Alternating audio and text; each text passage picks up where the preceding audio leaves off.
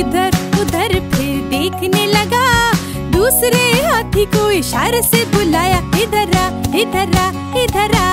हाँ।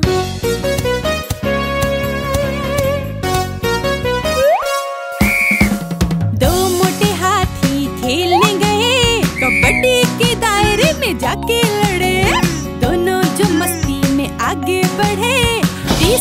हाथी को इशारे से बुलाया, इधर आ इधर आ इधर आ। हाँ।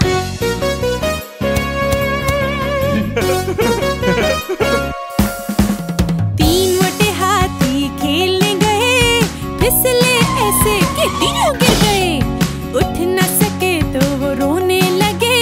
चौथे हाथी को इशारे से बुलाया, इधर आ इधर आ इधर आ।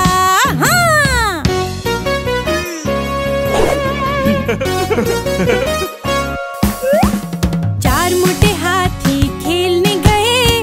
विकेट गिरी तो झूमने लगे। बॉल ना मिली तो वो ढूँढने चले। पांचवे हाथी को इशारे से बुलाया इधर आ